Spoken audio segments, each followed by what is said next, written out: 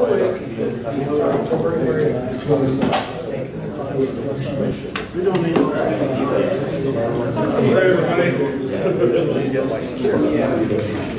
are going to start our presentation now.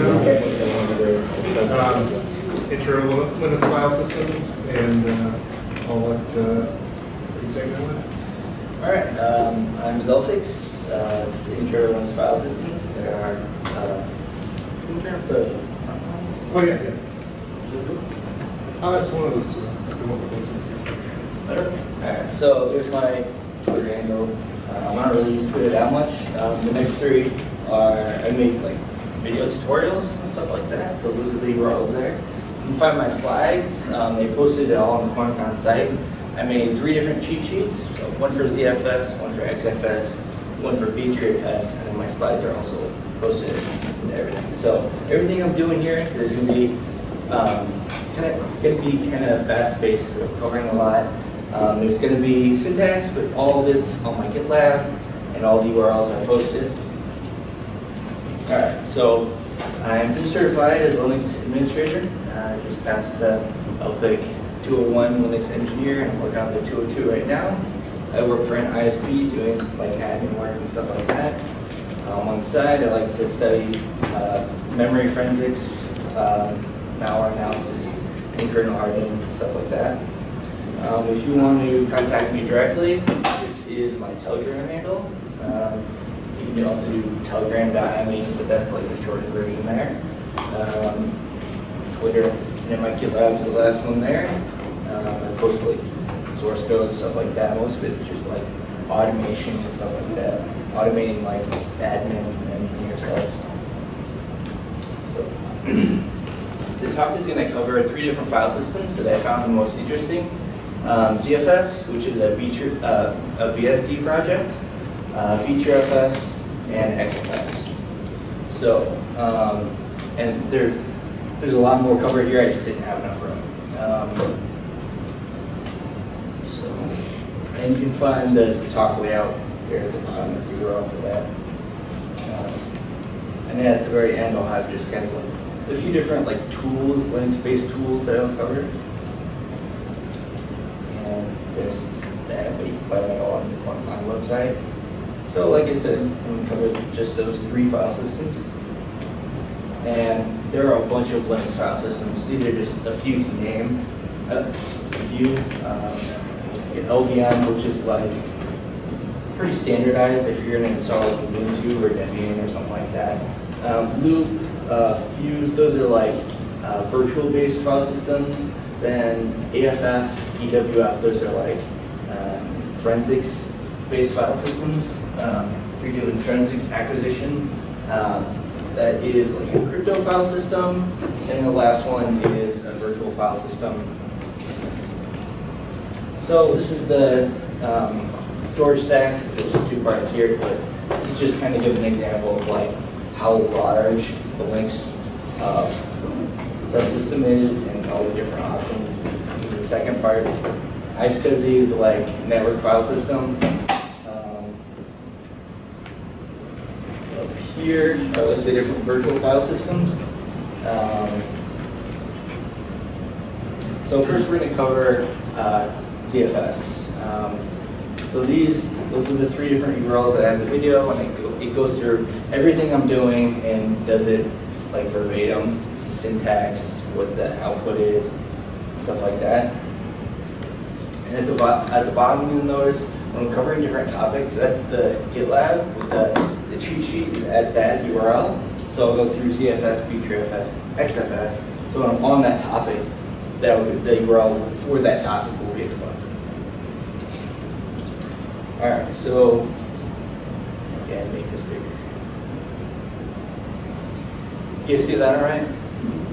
Okay, so with ZFS, um, there are so many different um, features to ZFS.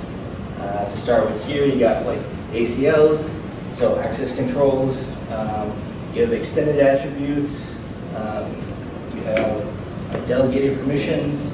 Um, since ZFS is a BSD-based uh, file system, you have um, zone restrictions and stuff like that, um, which is ported to Linux. So it, it works through uh, OpenZFS, um, temporary file system, read-only. And there's there's three different pages of uh, different features of ZFS. So uh, there's a lot to leverage with ZFS. Um,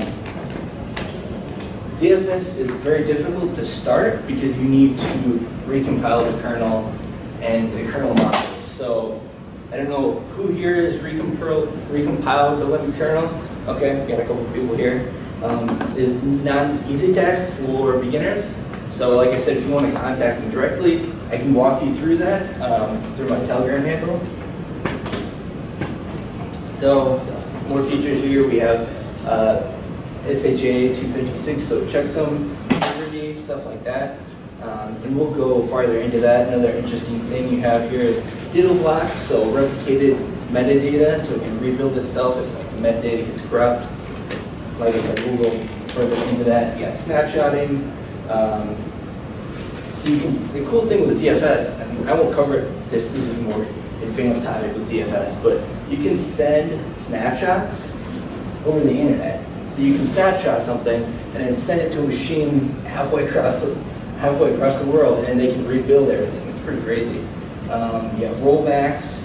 Um, I saw an interesting uh, port where someone was using ZFS as like the foundation for like um, reverting back when you get like infected with like botnet and stuff like that. And it showed that like it's kind of like uh, they used it in the way you would a, a virtual file, um, like a VM, so like VirtualBox or VMware, where if you get infected, you just revert back to a previous instance, and then you're not infected anymore. So they used that idea with ZFS rollbacks, and it worked uh, tremendously well. And then you got uh, ZFS quotas, so that's just like limiting the amount of space that like a user, group, or disk can use. Okay, so this is how ZFS works. It's uh, different than other file systems, and I stole this directly from Scale. So uh, their talk is amazing. If you find ZFS interesting, watch that talk. It's from the ZFS developers. They're incredible. So to break it down, basically you have the SPA at the bottom, and this ZFS is designed to be a RAID, basically. Um, so if you have several disks, they have something called a Z-RAID, where you're able to rebuild like broken areas and inodes with other disks. Um, so basically, what the SPA does is it plays like five disks. So they'll take those five disks and make that as a pool, a storage pool. And then here in the middle, the DMU, they took the idea of like databases, and it, it says I either wrote this or I didn't. Is it free? And it shows like when process is complete. So it, it makes it so like if you pull out a disk or the power drops or something like that, it's able to tell what happened at what time, so it's able to rebuild things. Then at the top you have uh, the ZPL, which is the POSIX layer. So POSIX is like an old uh, Unix term. Um, so basically what that does is that's the file interface. So that's the top. And um, with ZFS, you have a Z pool. And the Z pool um, is basically, I don't know who's familiar with uh, LVM. Uh, the Z pool basically is the virtual um, virtual layer. I'll go into that further, but um, basically you make the Z pool, the virtual layer, and then the ZFS lays on top of that. I'll go into that further. So this is kind of breaking down an overview of um, what I just said. Uh, an interesting thing with uh, the SPA actually gets assigned, it's, it creates a block pointer and assigns like tokens to that block pointer.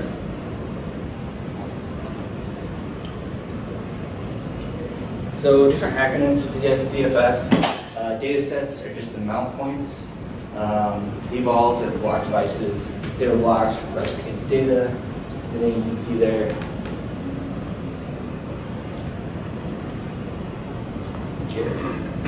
So these are pretty common terms. You get, like I said, you can get my slides. So I'm gonna try to speed this up because I got 94 slides. So. All right. So there are seven different seven different types of VDEVs, which is, like I said, the virtual devices.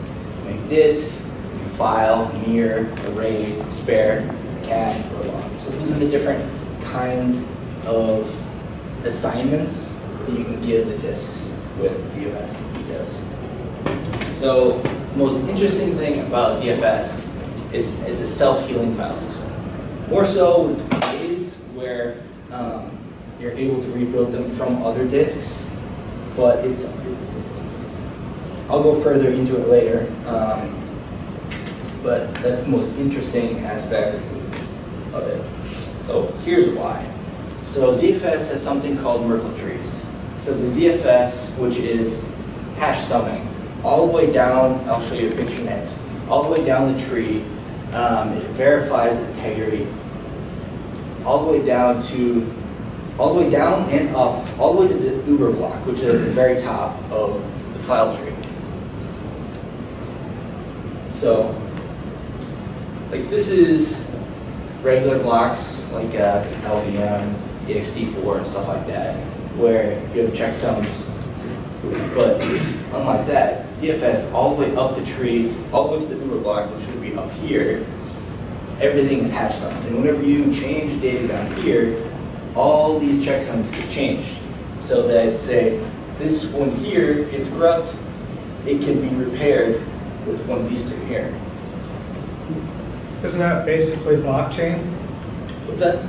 Uh, I'm, I'm not too familiar with cryptocurrency, but One to check some too.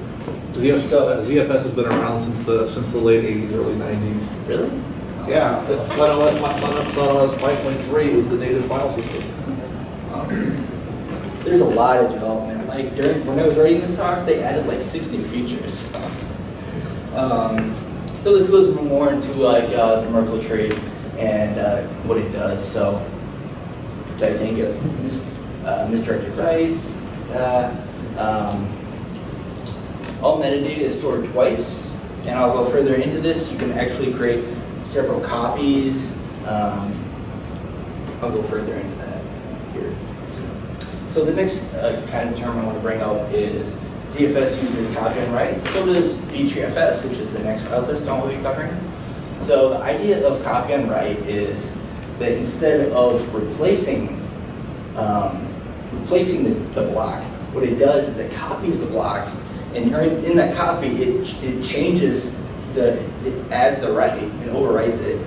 Instead of over, overwriting that block, and then say the power goes out, or you have, you know, you misdirected write and stuff like that, it makes it so that you never have to FSCK the disk. So, this goes over what I just said here. So, basically, the data is either is either written or it isn't. To make it simple. And then if the if the disk changes, if the disk crashes, it's either written or it isn't. Um, and then if it isn't, nothing's changed. Okay, so next thing I want to cover here is the block pointers. So normally they have four kilobyte blocks. ZFS uses 128, and it minimizes the fragmentation. Another interesting thing about the block is it shows like when it's written, and then the 250, um, 56 uh, SHA checksum is in the block as well there. Um, and then there are three copies of data. We'll see here. So this is the block here. So you have the first copy data here, and this is the metadata, and then the pool-wide metadata. So like I said um, before, like if you look here, that would be the pool-wide right there. So. And then you got the checksum at the bottom here, and where it was written right here. Okay, so next part is a little bit easier.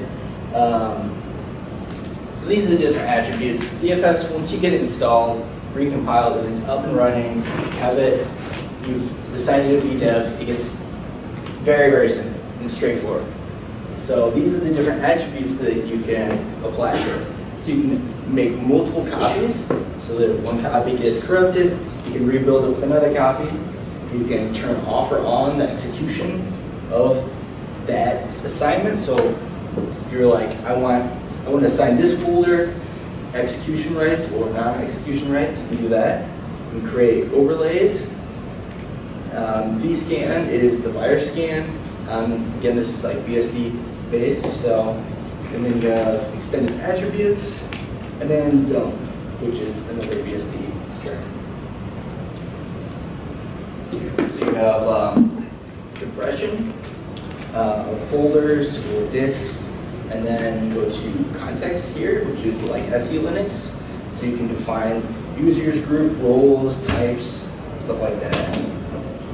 Then you can do limit the amount of space that a disk or folder can have, or you can turn it to read read only. And then you have the different caches here. I won't be covering bad caches and raids in logs. Um, won't be covering this just because that I, I'm covering way too much. I didn't have enough time to describe all that stuff here. And then you have uh, different ACLs. So POSIX um, ACLs, um, and then the different kinds of checksums you can use here. Um, 256 is, is really all you would need. You can go up to 512 though. Um, I believe they just cracked, uh, not the, I guess, this is just for disks, but um, 256 and SHA or 512 are still sums. All right, so these are the different options. So this is tab tab completion with uh, uh, Linux. I'm using Parrot Linux, by the way, if anyone is interested. Um, so this is tab completion. So I go ZFS get, and these are the different options can choose from to get. So I want to get the attributes of any of these options, and then it will give them, and I'll show some more screenshots of that. So then you go to uh, ZFS set. And it really is this simple. Once you install it and you assign the VDEV and stuff like that, ZFS is incredibly easy to use. All right, so ZFS is, like I said, designed to be RAID centric. So the first thing you have to do with ZFS is import the pool. Um, here. Zpool import. So you have two different interfaces, Zpool, which just deals with the, the VDEV, and then you have ZFS, which deals with the actual the disk and the partition and stuff like that. So really Zpool, have import export, and that's really all you would need to know when it comes to Zpool. All right, so list different attributes. Um, it's pretty self-explanatory, but you have like the amount used, um, the amount used, you have the ACLs, um, whether it's inherited, is it zoned, is it zoned, does it have extended attributes, the number of copies, like here there's two copies, um, the is it checksum, what kind of checksum is it, is it compressed, and read-only, and there's a lot of different options, but that just kind of summarizes the different ways you can list those uh, ZFS features and attributes of disks. So now we're going to uh, Z, the ZFS command. So we're we're um, asking the partition like different attributes. So get um, get an attribute property is the value on or is it off?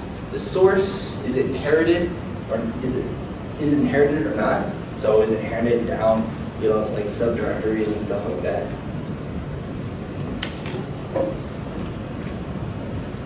Okay, so like I said, it's pretty self-explanatory. Either get the attribute, and then you can say the pool. So I named the pool zpool dash ZFS. And then you have the folder. So I, I'm asking, I'm setting this attribute, setting the attribute off on this folder of this pool. So, and then here I'm, I'm getting that attribute.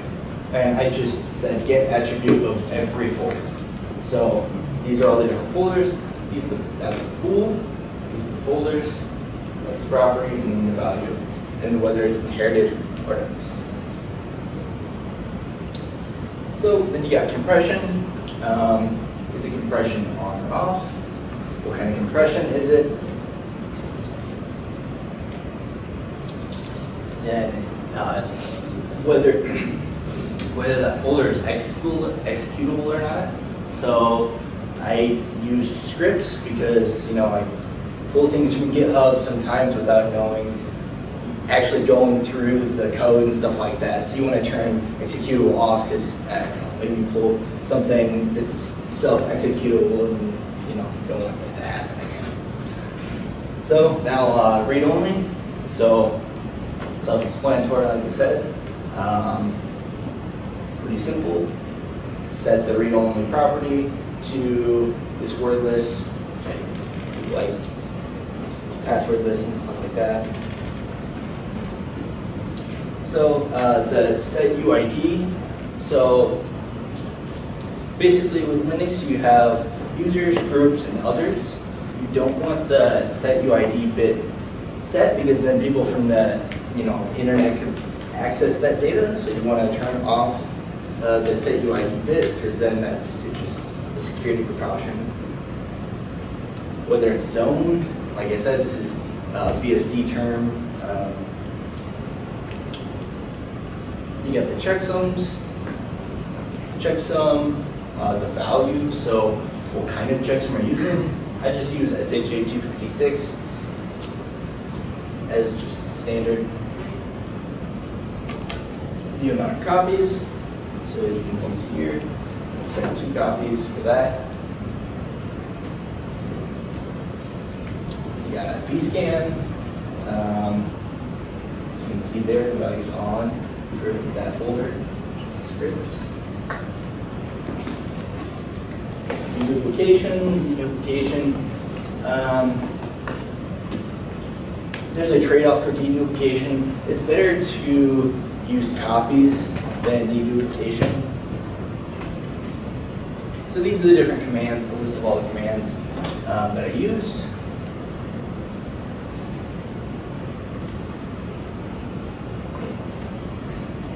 Did anyone have any questions on ZFS before I move forward? What's up? What kind of, uh, when you were doing your, when you, you set compression, what kind of performances were you seeing with compression and with deduplication? Um, In terms of like raw IO and like large block, right? there's there's a really good blog. Um, give it to you later. The guy Cool. went Alright, really deep into it. Deduplication he found just wasn't worth um, in the end. Um, I think they use LTO for compression uh, by default.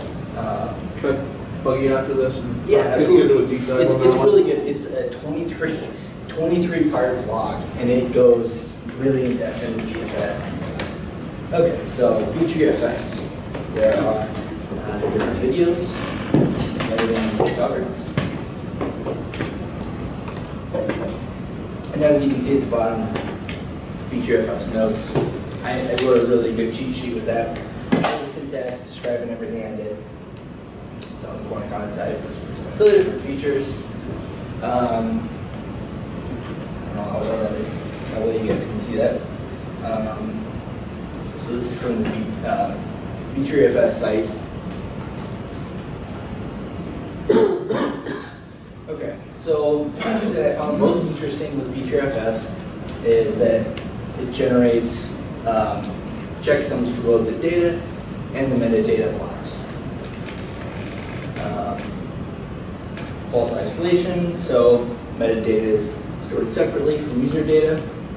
You have copy on write, um, copy on write, the BTRFS by default.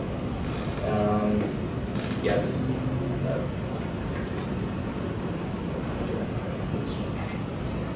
All right, so, uh, MKFS is make file system, so that's the command there to make file system. You see the data, it's a single. Um, FS also is designed, is designed for RAIDs, so I'm defining here that I want a single device, uh, the metadata is single as well. Uh, what I want to name the label, so I'm just going to name it FS. And then dev SDC is the physical device that I'm formatting. And that's the output from. So uh, BTRFS is kind of limited in the features. When you compare that to ZFS, ZFS just has so many features. Um, so you have compression, you make it read-only, um, indefinitely. Um, they also have uh, sub-volumes, so you can make, uh, this is uh, BTRFS, create sub-volume, and then that's the of the sub-volume that I'm creating. So you can see the output, and then I'm saying lists all the files in this directory, and that's the sub-volume there, just created that folder. All right, so now we're making a snapshot of sub-volume. So that's the command there. So that's the snapshot folder, and that's the sub-volume and and instead of creating the sub-volume, and then I'm listing those folders. Now I'm creating a read-only snapshot at this folder here, and that's the folder that I'm making the snapshot of. There, the BTRFS test. Dash R is the um, uh, syntax for read-only. Okay, so this is the usage of um, that BTRFS, and like I said, this is a single disk. You got the size, the allocation, um, ratio, stuff like this. All right, so just uh, another kind of usage and command. Um, all right, and another one, uh, DF is just the uh, usage rate, so it's more statistics for the file system, the amount used. Um, as you can see, they're single disks, not rated. And all right, so now we're going to be covering what I think is the most interesting aspect of BTRFS is the fact that you can dump the superblock. Um, so you, you print the superblock information, all, all those different statistics, the uh, copies, chunk array. So there I'm dumping it. And when you dump it, you can use, and I'll go into this next, uh, BTRFS check, and define this is the super block that I want to um, use. So you can back it up and then kind of uh, uh, essentially. So um, there are the different um, super block areas the BTRFS uses, the superblock size, and the last one there is the command we use to copy the superblock. So that you would put the superblocks in node there, which is the superblock. All right, here we're dumping uh, the tree, so just kind of um, different attributes of the disk. What's more interesting, you know, RAIDs. Like it's just a single, single device. So it'll dump the tree trust, tree structures, um, extent, and device trees in there. Um, Inconsistencies and file system structure offsets. So um, here, you're printing the size statistics of the tree. Here, you're showing a listing of the property, and here you're mounting it with compression, LZO. So that's the mount command. O is just the, you, you define um, different properties of when you're mounting it. Uh, that's the block device. That's the location. So there, that's the folder you're mounting at. That's the disk name.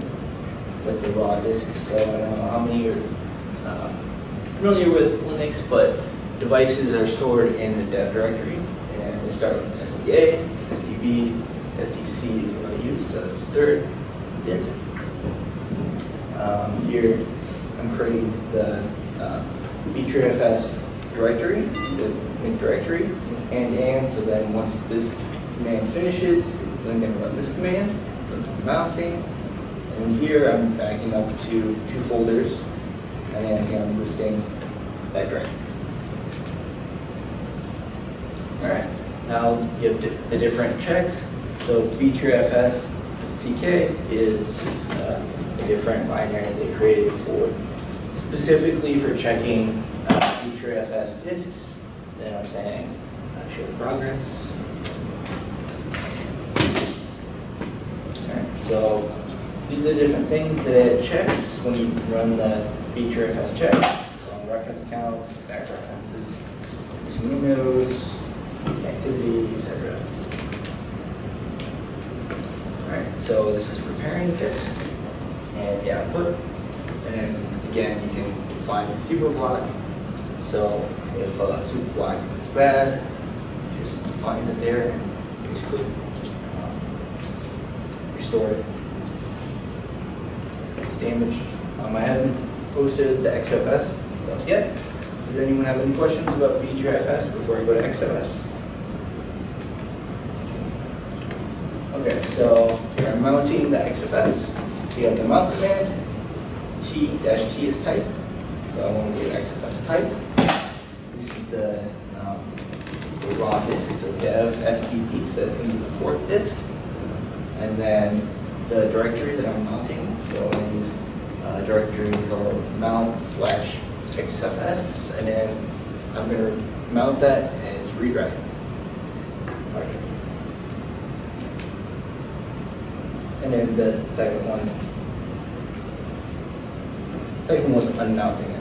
So that's kind of a joke with, a joke with Linux is you mount instead of you mount, you know what I mean? Okay, so they leave out the and just did.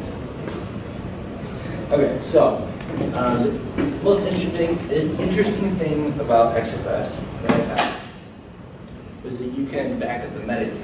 So you can back it up, which metadata, I think I, I used like a 500 gigabyte disk. When I backed up the metadata, it was about 300 megabytes. So you can back up the metadata and if it becomes corrupt, you can restore the metadata and it fixes the disk. So, set that as done, file. So I'm backing it up to file called XFS backup, add home and my name, that directory. So that's the file I'm creating. And then this is the directory I used uh, Zulu mount. So Zulu mount mounts disks at this location. So that's going to be different depending on what you use to mount. Um, but that's the mount directory of the disk. And I got a video, the video URL is right there, showing everything I did in real time. So this is the second part of that. So um, you're gonna enter the label, we call it, we call it backup. And it goes through, backs up all the metadata to the file. And then this is XFS restore. So I'm going to restore the metadata, disk is become corrupt. Um, here I'm defining, uh, I want to be, I want to verbosely do this through trace is the most verbose um, option. And I'm going to be uh, using that file, the one that I packed up right there. And that's the disk that I'm using to restore it. That's the output. All right, so now on to different tools. This is just kind of extra. How much time do I have left here? Um, 15 minutes, so That's hour. uh, the tools that I'll cover, um, Smart CTL will show you like smart data from your disk. hdparm will show a lot of like hidden features in disks. Um, go down a rabbit hole with that. Um, So I, I recently read a forensics book where um, this guy found there's two different ways they can do this, but hardware manufacturers are actually creating a hidden partition firmware and they are backing up metadata to that. So very, very small amount of data is being um, saved and then they're actually transmitting it back to the hardware manufacturer um, so they can collect people's metadata. So hdparm will show those features, and so it's a very, very in-depth thing. You can you can break up a device doing that, but it's kind of, like I said, hole with hdparm. HG Temp is going to show the temperature reading of your disk. Um, these all are just kind of like listing disks. Um, interesting feature with sfdisk is you can um, back up uh, the MBR and replace it if you it's corrupt, you accidentally write over it or something like that. Um, FSCK, uh, fix the disk when it becomes corrupt. All right, so this is command line version Smart CTL. So first one here, I'm dash A is all features, um, and I'm gripping. So this is uh, you're finding this string here, smart support. So I'm asking, uh, is it available and is it enabled or disabled? So it's currently disabled at this point here. And then the second one here, I'm saying dash S is smart support. So I'm saying turn that feature on for first disk. So SDA is going to be the very first disk. And then you see at the very bottom, support is now. All right, so this is smart, uh, smart CTL X all is just going to show all the different smart features. So you have serial number, you have um, the LUN, WWN is for network file systems. So disks are going to be allocated uh, device IDs for um, finding each other with iSCSIs, so network, network. So you got firmware version, capabilities, sector sizes, rotation, et cetera, et cetera. So this is the graphical version of Smart CTL, GSmartControl. So it literally is the exact same thing except for it's GUI. So if you see here, it's the exact same thing as what that was saying. Just. So you can save, um, save the report there. So this is more output. Um, as you can see, there's a lot of output. All right, hdparm. There is a lot of very refined information with hdparm. So first things that come to um, come up or um, logical and physical sector. So 512 and 4096. So I'm going to go through three different pages that, it's going to print out here. Um, coming up here, you have enabled different options that hard, uh, that hard drive is going to support. And then it's enabled, start next with. So these are more options um, the hard drive supports or doesn't. All right, and then um, you can freeze your hard drive, set passwords, firmware of it. Um, it's not frozen, it doesn't have master passwords before it's enabled.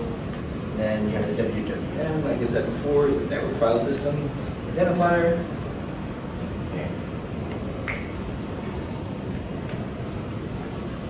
All right, so farm here, the geometry of this disk, so sectors. All right, so you can do this with uh, block dev as well. Um, hdparm, that particular block device is an SD card.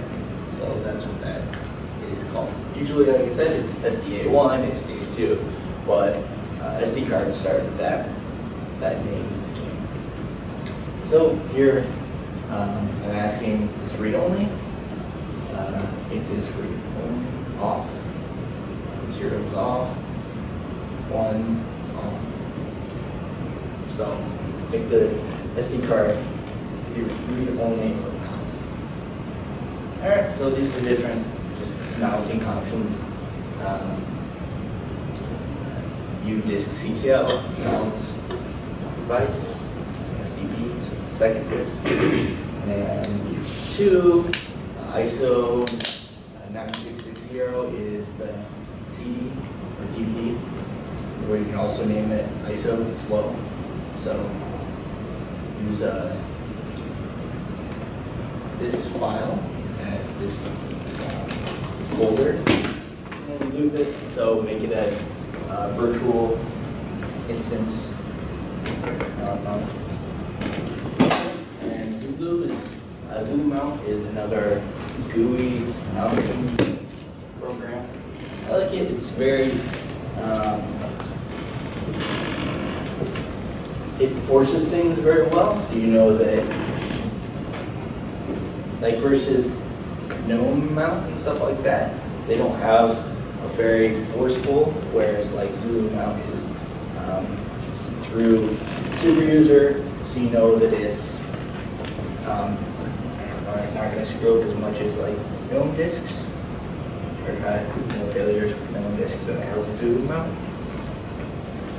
hdparm, so um, here I'm asking, what's the temperature of the very first disk, SDA? And that is, you can also turn it to uh, Fahrenheit if you do dash dash unit uh, equals capital F, it'll do Fahrenheit. Um, F disk, so I'm listing the disks. So um, SDA, that's the first disk, and different partitions here, and sectors, and the type,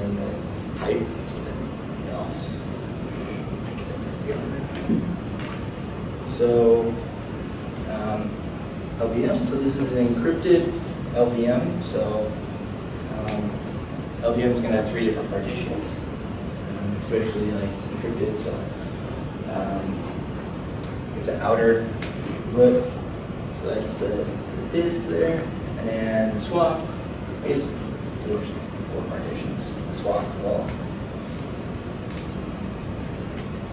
Um, here, I'm asking logical, physical, in two different ways. So the sys is a subdirectory, it's a virtual subdirectory. Block SDA is the first disk. What is the physical block size?